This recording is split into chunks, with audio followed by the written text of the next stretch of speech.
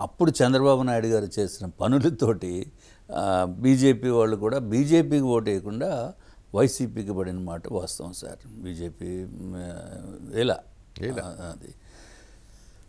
ఇది దీనంతటికి మూల కారణం ఏంటి సార్ అసలు? బీజేపీని దూరం చేసుకోవడం కదా?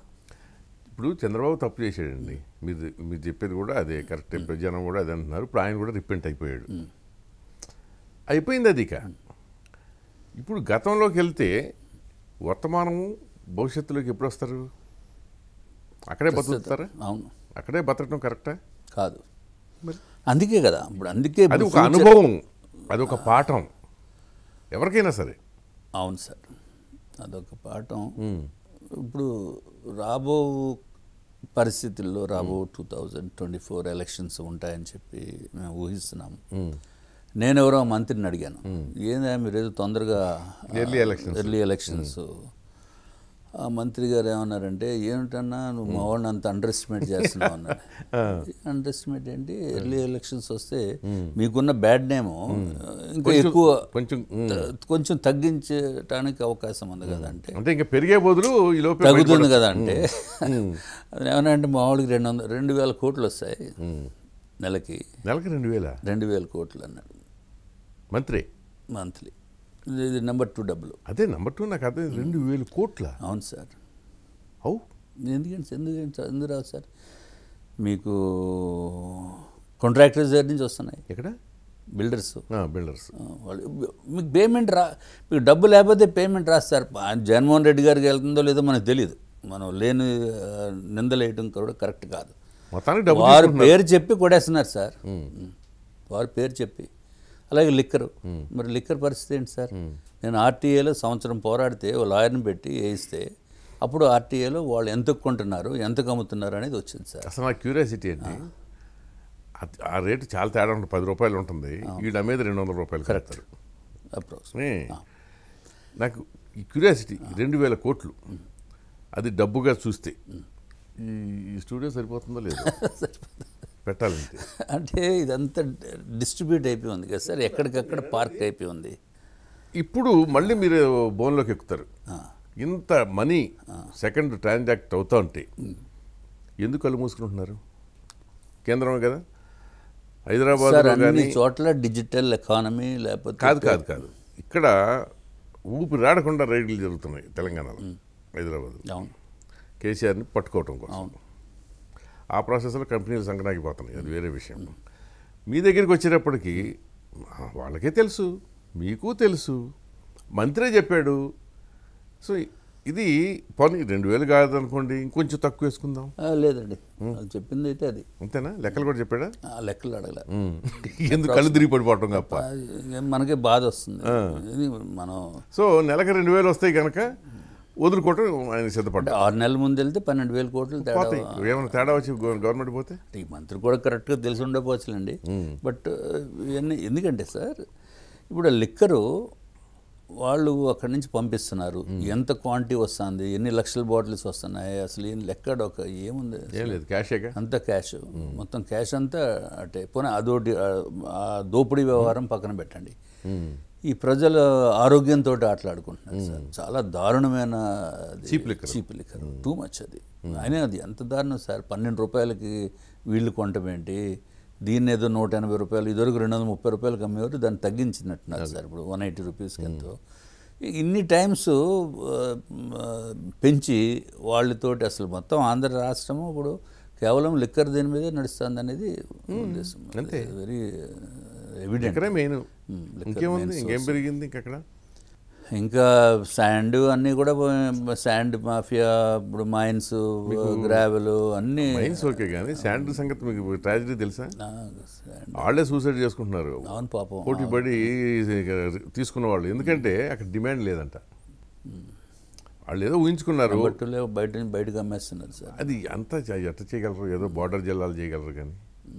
లేకపోతే వెస్ట్ గోదావరి తీసుకున్న అతను సూసైడ్ సూసైడ్ మరి ఎందుకు చేసుకున్నాడు? అవును.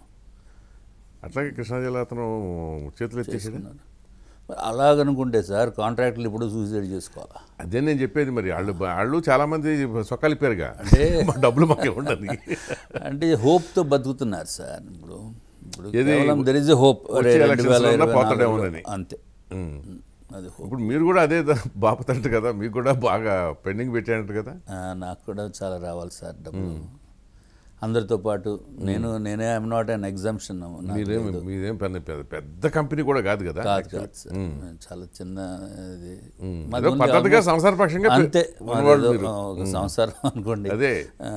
మాకు ఎక్కడ చేతి చేయి చాచకుండా ఆ, అంతే. ఎప్పుడు ట్రెడిషనల్గానే మేము పోయేవాళ్ళం సార్ అంతా. బట్ ఇక్కడేమో ఇరుక్కుపోయాం. అంటే ఇరుక్కుపోవడానికి కారణం ఏంటంటే సార్ నేను ఈ జన్మలో పెద్దగా పాపాలు ఏం చేయాల? నాకు తెలుసుండి. అది మొన్న నేను నేను కాదు వైజాగ్లో ఎవరిని అడిగినా విష్ణుకుమార్ రాజు ఎవరి దగ్గర చేయి చాచే మనిషి కాదు మాత్రం వాస్తవం. గాడ్స్ గ్రేస్ సార్ ఇది. ఆ, తర్వాత ఈ జన్మలో పాపం పెద్దగా తెలుసుండి చేయలేదు. అది ఏమైనా తెలియకుండా జరిగిందేమో.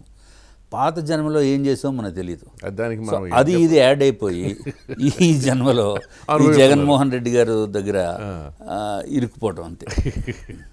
అది పాతేదో కొట్టింది సార్ లేకపోతే ఇంపాసిబుల్ అంటే ఫార్టీ ఇయర్స్ నుంచి నేను బిజినెస్ చేస్తున్నాను సార్.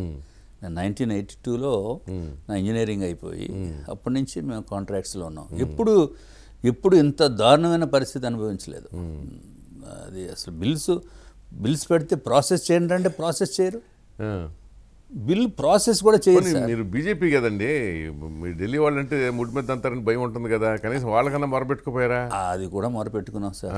వాళ్ళు చెప్పారు. వాళ్ళు మంత్రులతో చెప్తారు వాళ్ళు. చెప్తే అలాగే మేడం అది ఇది అని చెప్తారు.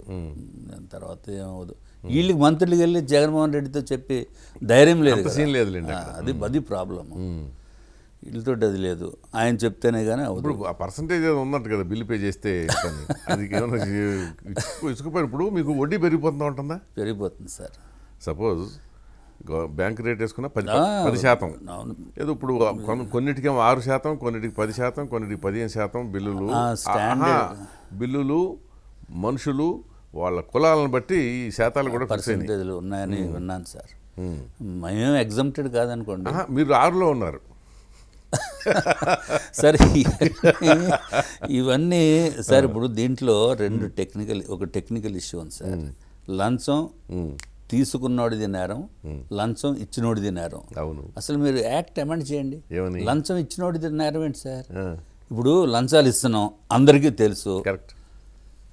నేను ఇచ్చాను అని చెప్తే నన్ను లోపలేసేస్తారు. తీసుకున్నాడు ఎవడానికి మళ్ళీ తెలియదు ఇప్పుడు ఈ గవర్నమెంట్. సో నేను మేమేమని చెప్పాలి సార్? అబ్బాయి మాకేం లేదు సార్ అని చెప్తారు. అంటే ఆత్మవంచంతో బతుకుతున్నాం. అంతే దాంట్లో లంచం ఇవ్వకపోతే ఈ దేశంలో ఏది జరగదని దేశంలో కాదు మా రాష్ట్రంలో జరగదు. అంటే ఎక్కువ తక్కువ నేను చెప్పేది.